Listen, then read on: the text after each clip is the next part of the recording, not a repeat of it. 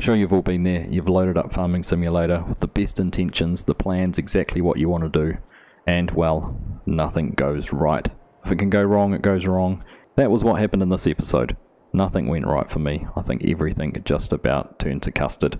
But we've put it together. Hopefully, I've made something enjoyable for you to show that uh, we don't just edit out all the bad bits, we keep them in there and it happens to the best of us. So sit back, relax, have a laugh at my expense if that's what you want to do, uh, and leave a comment down below. What is your worst farming simulator experience? Because uh, this is going pretty close to being one of mine. So enjoy and let's get into it.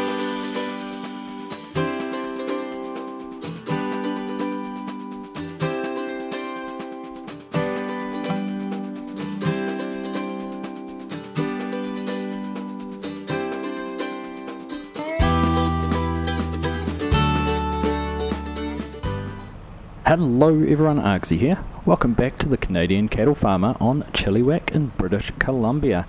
Now before we get into the activities for today, I'd just like to wish everyone a very happy new year. We've obviously been away for a couple of weeks, hence the uh, lightness of content lately. Been enjoying some R&R with the family, which is very nice. I'm feeling refreshed and ready to get back into some farming simulator and making videos and whatever it is that you guys enjoy. So we are back here today, we are jumping straight into doing some silage. Now I do know in the last video I said we'd probably look at getting into the farm build, but I want to drive some equipment and uh, use some auto drive and course play and things like that. So we're going to skip the farm build. We do have to build a little bit though because we need to put some stave silos in for the silage. Uh, but I do just want to get into playing with some equipment. So with that being said, we are set up here. We've got the forage harvester out with the corn head on top on top on front. Uh, and then we've got the Kubota and the New Holland over here pulling the forage wagons. Now the reason we're using the forage wagons is they have the uh, side dump there side discharge on them and that will become clear as to why we need that when we get to using the stave silos. And we have a blower and everything like that.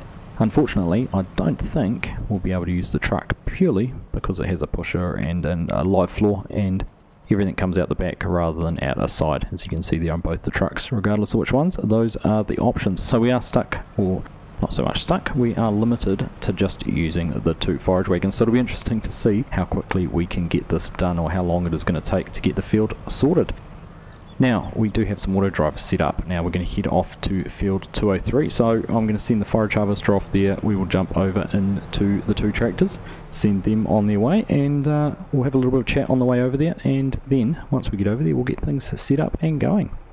just as we drive along here behind the other equipment, uh, I just wanted to talk about the auto drive course very quickly. This is a work in progress course course by AZ Sparky. He shared this on the Auto Drive Creators Discord channel.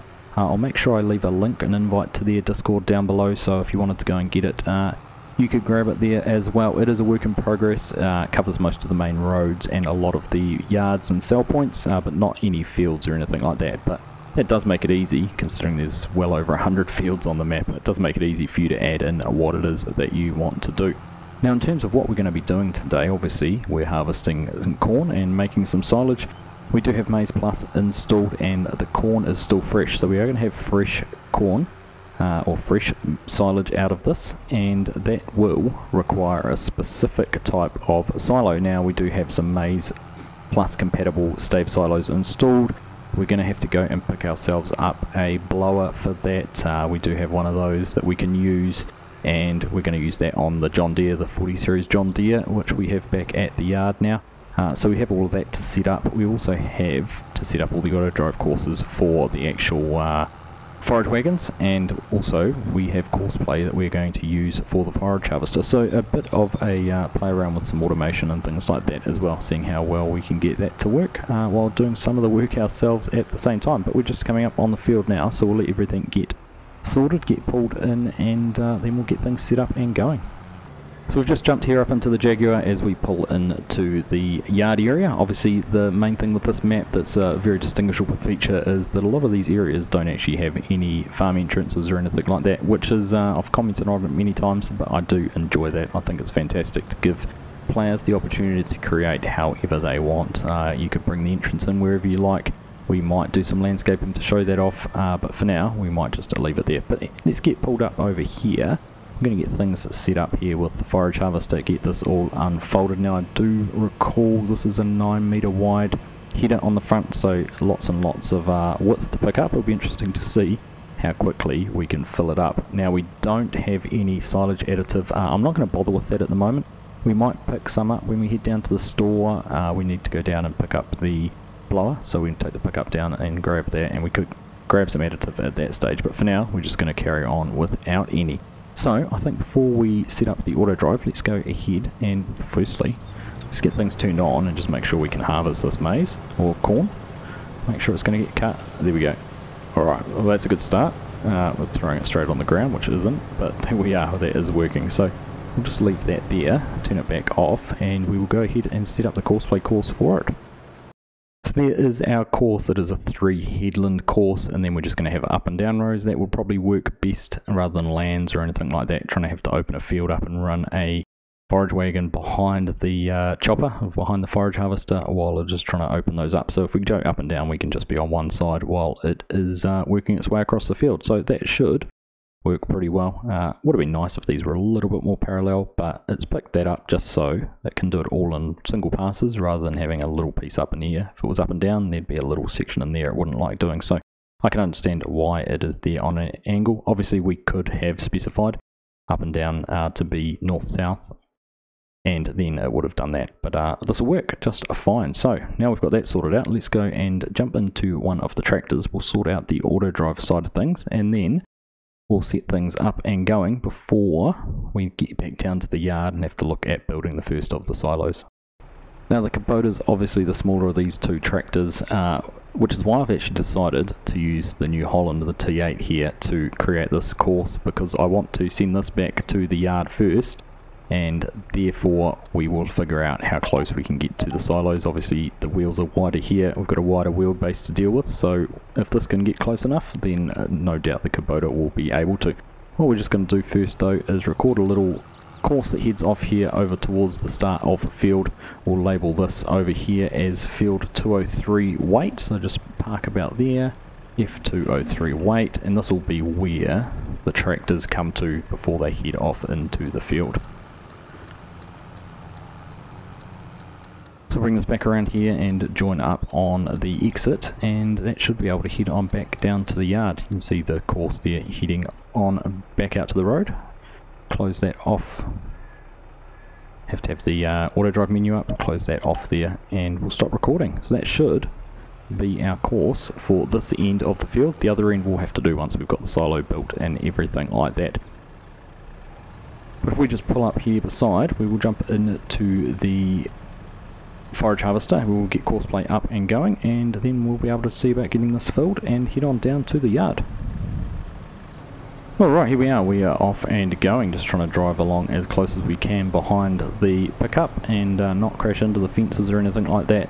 A little bit confined with space. In fact, it felt like we were going to get squeezed out there being in this slightly bigger tractor. But the uh, Jaguar is doing a fantastic job of really spitting that forage out, uh, that fresh maize, and getting it into the forage wagon here. So we're just going to head on around, we're already 40% full, so I don't know if we're going to get very far around the field at this rate. Uh, but for now, we'll just uh, jump into a short little time lapse, get through to the end, and then we will uh, head on down to the yard.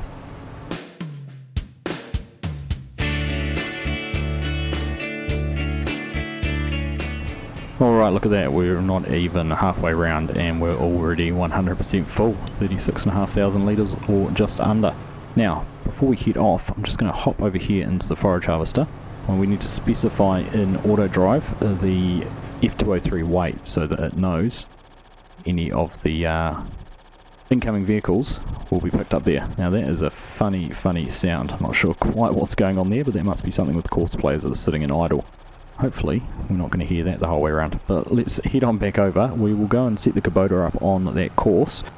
Even though we don't have an unload at the other end, we can tell it to go to the main yard entrance, uh, the farmyard entrance, and once we have the course set up with the silo and everything like that, which we're going to go and do with this tractor, uh, hopefully this one will be full and back there anyhow. So we'll just jump over into there and set everything up and see if it will head off to the forage, uh, forage harvester. Well, there we are. So it's uh, heading off this way. I'm Going to not even go around the edge of the field. It's going to go this way down to connect up with the forage wagon, which is, uh, or the forage harvester, which is fantastic. Much more efficient and faster than if it had gone the uh, whole way around the edge of the field. So we'll leave this one running and we'll get the other tractor back down to the yard and get our silo all up and ready to put some silage into. So back over here at the yard and as all good yard builds progress, uh, some things need to change and adapt from what initial plans might have been, uh, much like building and everything like that. One thing to think about is this unloads here on the left, so our silo will need to have a trigger on the right hand side of it effectively, or the position of it we need to think about when we're driving in. Now I will go and have a look at the silos we've got, but for example this silo which is here, which is just a decorative one, I see this is the in tube, which it gets blown up into the top with the blower, and then on the ones we have access to actually have an outlet here on the back. So we can't actually position them where I was going to. Should we just come around here? I was going to position the silos in a similar position to that one, backing onto the barn, but we can't actually do that because the outlet is on the opposite side to the inlet. So we are going to have to uh, actually have almost a drive around the silo, and where I'm thinking about having it is just here, in a line effectively, so we can drive between the barn, and that will have to be for the pickup, and we'll have the unload on this side. So uh, we'll see how that works. We'll get everything built. We'll need to take the pickup down and pick up the blower and grab that silage additive, and uh, then we'll see how everything is going. So before we do that, let's go and put our silo down. So just here under silos, I was hoping to be able to use these American fermenting silos. I have the one with the Canadian flag on it. They have the built-in blower, but unfortunately, as you can see in the bottom right corner here, they only take uh, chaff, grass, and hay to make our silo. So that won't work with Maize Plus. But what we do have, if we scroll across here past all our silage bunkers, is we have this fermenting silo pack, which you can see we have three here, which are all Maize Plus compatible. One there which has the uh, blower on the right and has a built-in outlet uh, second one here, which is a bit bigger, same deal. And then the third one here, uh, which I haven't figured out. I think the outlet just comes out on the uh, chute there, where you don't actually need anything to put it in. But we're going to go for this one here, the $75,000 80 foot one, which I think is going to give us the best capacity. And as I was basically saying, the idea is to put it somewhere like about here. It's not going to get in the way of our drive around. In fact, it'll be on the other side from our main silos. So I think if we go and put that, let's see, I might just twist it. Uh, no, we should be just about right there. Hopefully just leave enough space. You can see the wheel tracks there as we've been driving tractors around uh, before we were setting things up. If we leave that right about there, let's put that down. There we are. And that will leave us enough space to be able to drive around on this side. Yeah, more than enough space to get through there with a forage wagon or a mixing wagon or something like that. And then on the side here is where we're going to put our blower. So we'll go and grab the pickup, we'll head on down to the shop and go and grab that blower and uh, we'll be back here soon. We just pulled in here to the shop, we'll just park up and uh, we'll jump out and go and take a look at the blower and get the silage additive organised. So here is the blower, the New Holland F62B. I'm just jumping there, there's no configuration or anything like that. It is a simply a silage blower. We'll unload it into the side, the auger takes it big fan blows it and it'll come out the chute here and get pushed up into the top of the silo. So we'll buy that one. There we are, $13,200. And then if we get the, the, silage additive, we'll just go across here. Now the default one is there, the Bond silage silage additive. Only 60 litres and it's $3,000. But uh, we've got this wonderful little mod that is in here. Silage additive drum, 50 litres and it's $500. So we'll go ahead and buy one of those and it will conveniently fit in the back of the pickup. So, with those both sorted out, let's go and get them loaded up and head on back down to the yard. Well, just about to pull back in, and looks like the Kubota is back here now. So we've got uh, both our tractors here waiting, and looks like our auto drive course might have a little bit of an issue with the farm sign. So we might just have to make a little bit of a tweak there. Looks like we're getting caught up. But let's just pull this on over this way. Now we're going to need to grab the John Deere because it does need to sit behind a tractor. And actually well before we do that I'm actually just going to do a little bit of landscaping and painting just to make this look a little bit more presentable and like it is a yard. So in fact why don't we just uh, just connect this here hook it onto the John Deere and uh, then we'll sort that out. Alright so just got the paint tool out here. If we just run this pretty much straight along here do a little bit around the silo as well, just to tidy it all up. A bit of grass inside the building we can get rid of. Bring this over here because we're going to want this to be our drive-through area. In fact, this can come back down this way, go underneath the tractor. There we are.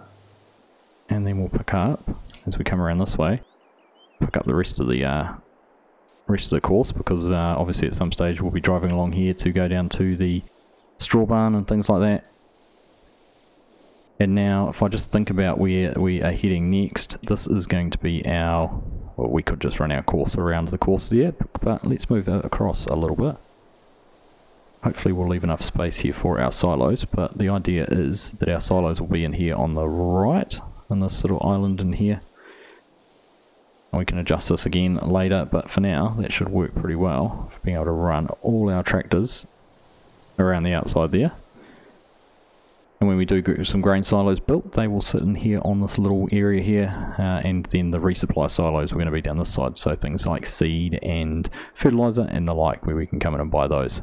So I think that, in fact, if we just uh, get rid of that, in fact, we'll just, we'll just walk around. Hopefully we've got enough space, we might have to paint a little bit more there, but there we go, there is our silo. Got a nice little bit of course around there, and run that down that way. So let's go and get the, this hooked up. We'll bring the blower over and then we'll try and create a little bit of a course for everything else to be able to get there and unload. Alright, I think if we park the blower right about there, we should be able to now go and hop into the tractor and see if we can come down and find the trigger there for the unload point.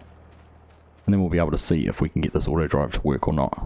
We'll just jump into here, we'll unlock auto drive or open up auto drive. So you can see we've got a yard entry course which we just want to expand on for getting to the unload. But before we do that I'm just going to drive along here and make sure we do get a trigger that we can get close enough with this tractor. Hmm. That could be a little bit of a problem. If we can't get close enough with this tractor and we're going to run into a little bit of strife. There we go. We've clipped the blower There we go, we were just close enough there very briefly for the trigger to be able to unload, but uh, I'm not sure if this is going to work or not with this tractor. This could be a little bit of a problem because I don't think we can swap tractors out with anything else we have on the farm. Let's just tidy this up and have another go. Alright, second time around, let's see if we can get close enough to get it to unload. No, still no trigger, and I really don't think I can go much closer. To that. Hmm, I'm going to have to do a little bit of thinking here at the moment, because I do know the John Deere will run this, uh, but can we hook the blower up here to the T8? It seems a little bit excessive, but we're kind of stuck for options right at this minute. Otherwise, we might have to look at picking up a smaller, older yard tractor or something like that. One more go. Just, just got the trigger there for a second. So we can unload that there.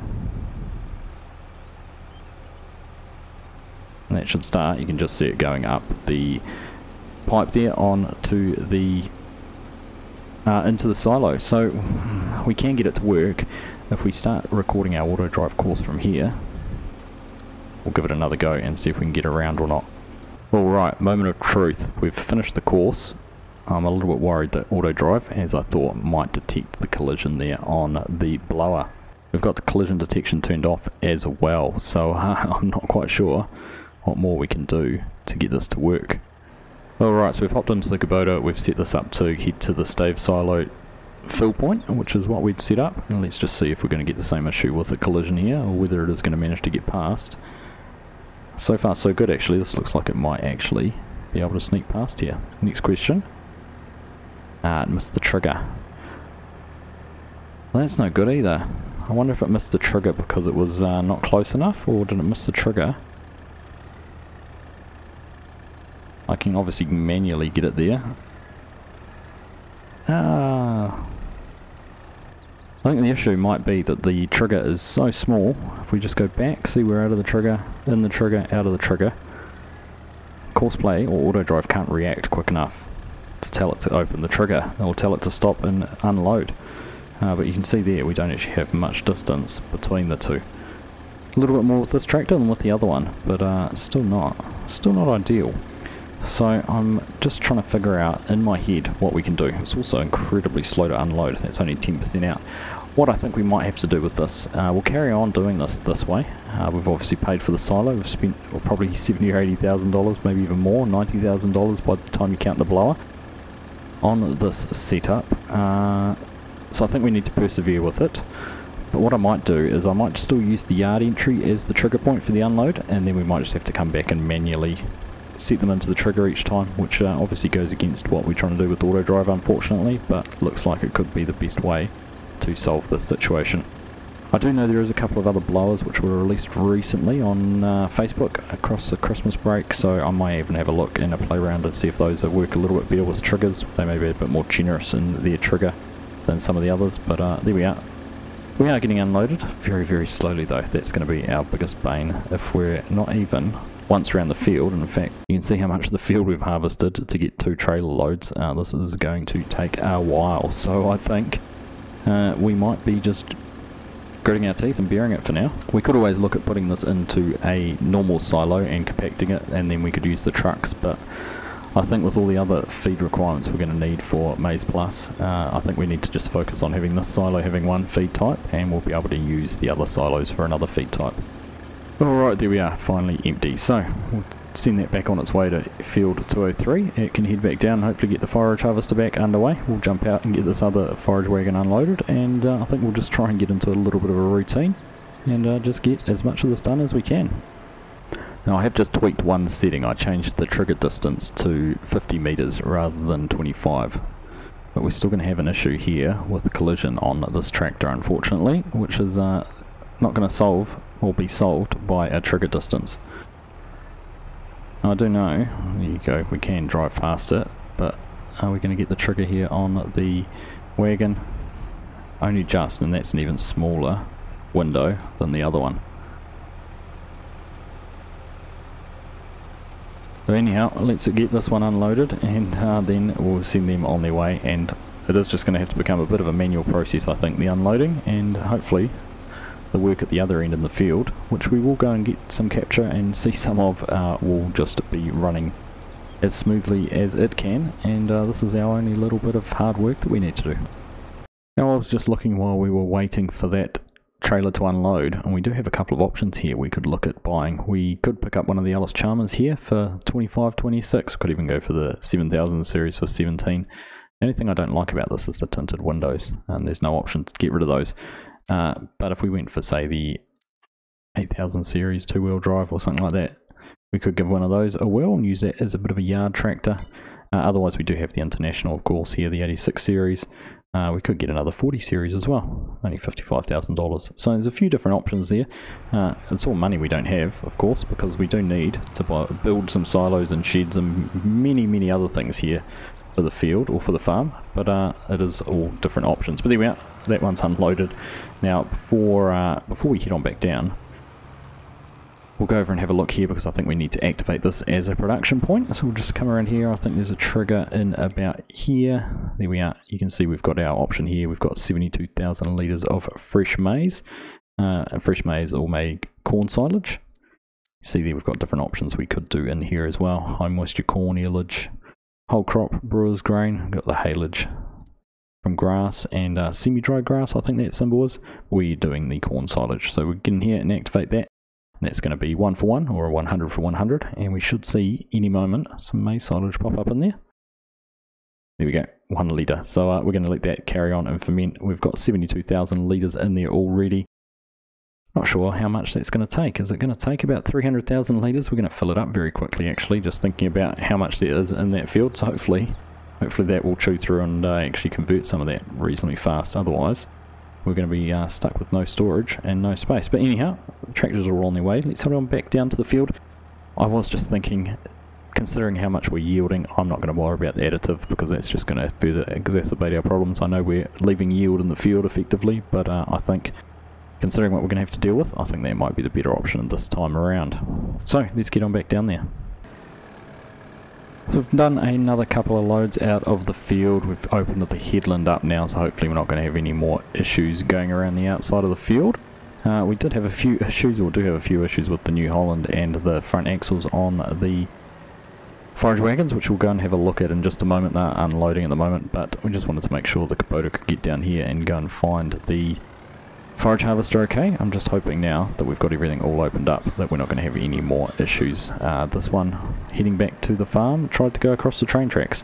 Uh, there is one setting I need to change, which is restricting the uh, unloader to the fields, uh, which we'll set up in just a minute, but we'll just let them get caught up here and underway and then we'll go back and check on the New Holland, make sure it's all unloaded into the silo properly and uh, we'll see if we can get the front axles that we're having issues with a little bit more aligned than they are at the moment. But there we are, that worked out alright. So just jump in here to the settings. I want to change these both to yes, which is the Pathfinder, which I think is the uh, Combine in this instance, and the Unloader uh, is the trailer, but uh, I'm not exactly sure or 100% sure or confident those are the correct settings, but there we are. That is what we're going to go with for this time. Well, this all seems to be going alright at this end, so we'll jump back over and go and have a look at the other tractor. Alright, well there you go, they are empty as well, which is good, and we're just going to pull out of the way. You can see there, very clearly, there is something wrong with those axles. I don't know what it is. I don't know what's caused it or anything like that. I've seen photos and images of people having issues like this with gravity wagons and forage wagons and all sorts, but it's not one I have ever encountered before. So what I'm going to try and do to fix it in the first instance, I'm going to try and use EasyDev and just teleport the tractor and the forage wagon to a new point because sometimes that will refresh the uh, refresh the model and everything like that. So we're just down here, we're just in the yard, so we might as well just try from there to there and we'll see what happens. No, that hasn't done anything with it, so we're now going to detach and we're going to try and reset it. So we're just going to set ourselves up a store deliveries point here. We'll put that down there and we'll come into the map, zoom in and hopefully find that uh, trailer, although everything is in the way now so we're not going to be able to see it. Let's just come in here and see if we can turn off some of these points. Uh, trailers were turned off, there we are. However, I'm not able to pick it, probably because we're standing too close. There we are, we've managed to find it now, moved away. So let's reset that, and uh, we'll go and see what happened. There we are, look at that. Just like sending it to a mechanics. So the reset of the tool has uh, reset it effectively back to or reset the model uh, which will hopefully fix that issue. Fingers crossed we don't have it again. But anyhow, we'll turn this back on to auto drive, send it off to the field and we'll go and see, probably the Kubota I imagine is full and hopefully on its way back. So, I think let's just ride along here with the New Holland on a little bit of a time lapse for a minute or two, or at least for one round, get it to the field get it unloaded, and then we'll uh, see how everything goes on the other end.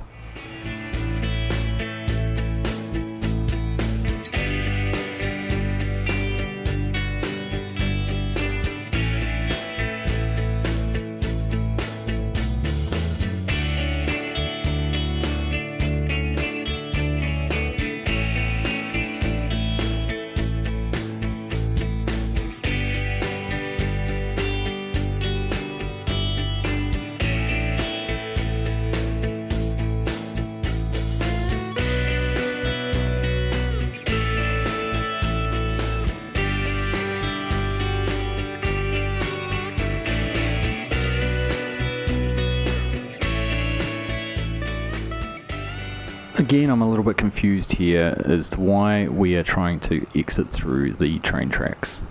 Uh, doesn't seem right. I'm a little bit, a little bit puzzled. There must be something going on here that I can't comprehend or can't get my head around uh, because both tractors have done it now. Seem to get to a point there and they think this is the smartest way to get out of the field. Uh, anyhow, no harm done. What it does mean though, depending what's going to happen now, is uh, that we're going to have to go and unload the other tractor because the Kubota will be waiting. And this guy is now probably going to do a U-turn. He's going to go and try and drive through the field, try and get back to where he needs to be onto the course. No wonder he broke an axle.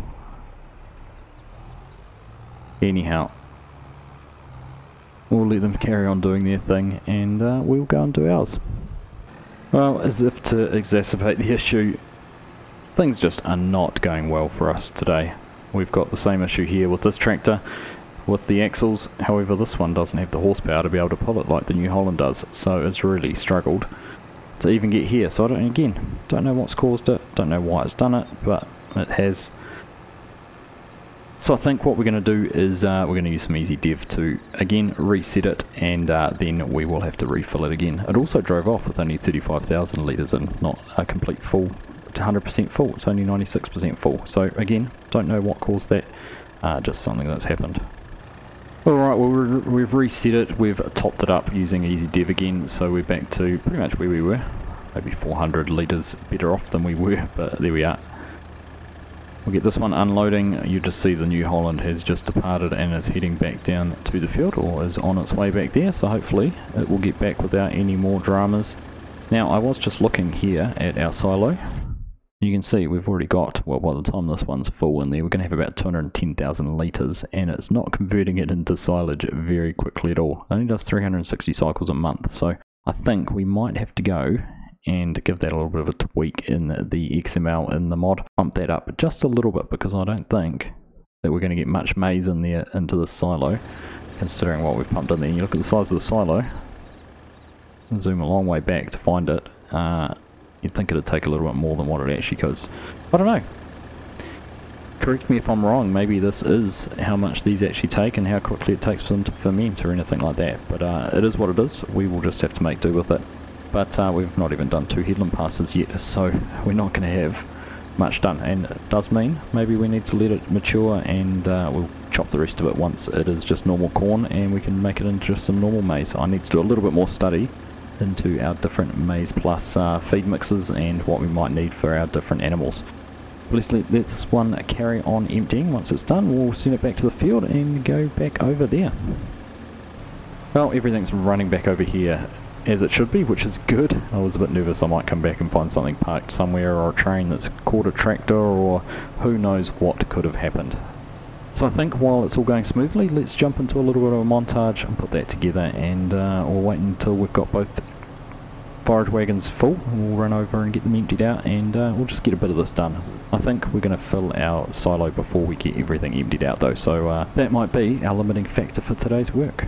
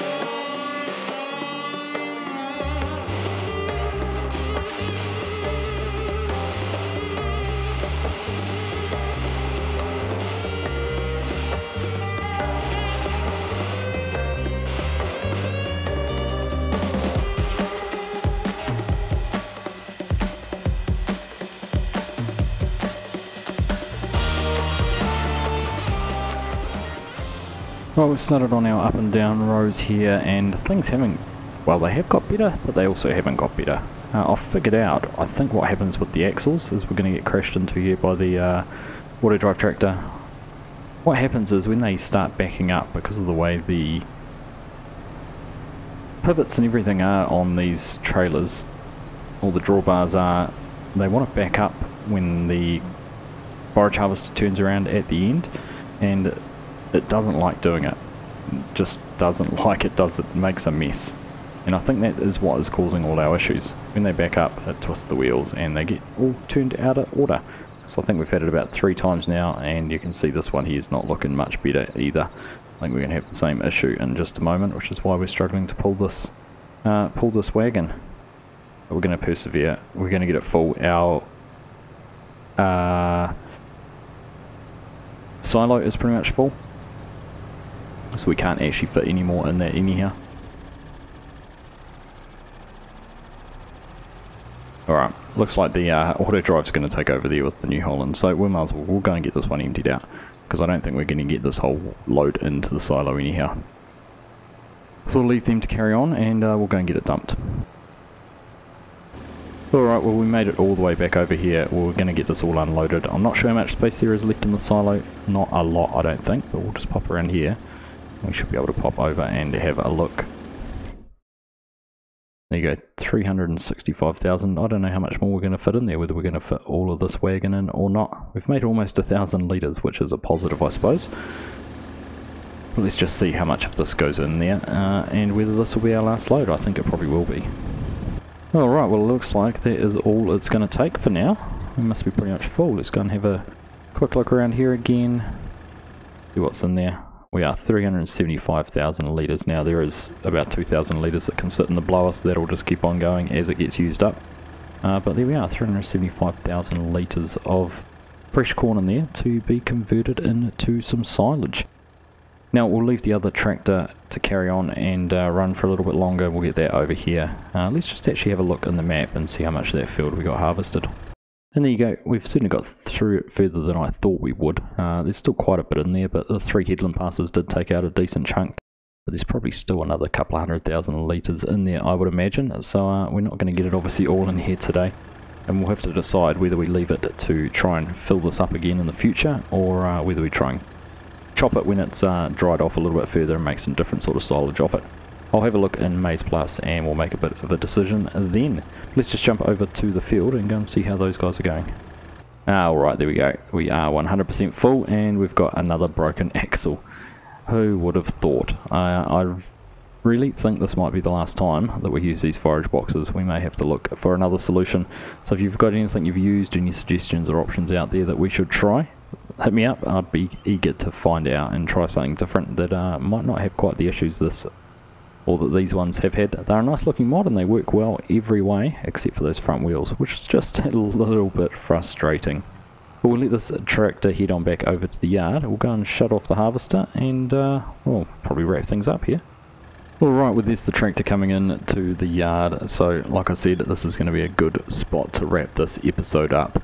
Uh, it's just been one of those days really everything that could go wrong just about has and what could go right. Well there's only been a few little bright spots in amongst everything else. The silos worked out perfectly. The blower and everything actually went really really well. I was a little bit nervous about using that. Obviously the course play with the forage harvester went really well. And even the auto drive course worked uh, reasonably well. It was just a little bit frustrating we couldn't get that trigger to work there with the uh, with the blower, um, but that's alright, that might be something we can have a play around and see if we can come up with a different solution to get it to work in the future. Next time, what I think we might be doing is either a little bit more of the farm build, maybe get some sheds put up around the other side so we can get some of this equipment put away and tidied up, or uh, possibly taking out the uh, versatile and a plough and heading on over. I want to get some grass planted because we do need to think about what we're going to do for some grass silage, grass hay, those kind of things in the future. So uh, it could be a couple of things to do around that. But for now, thank you all very much for watching. I hope you've enjoyed that episode and I will catch you in the next one.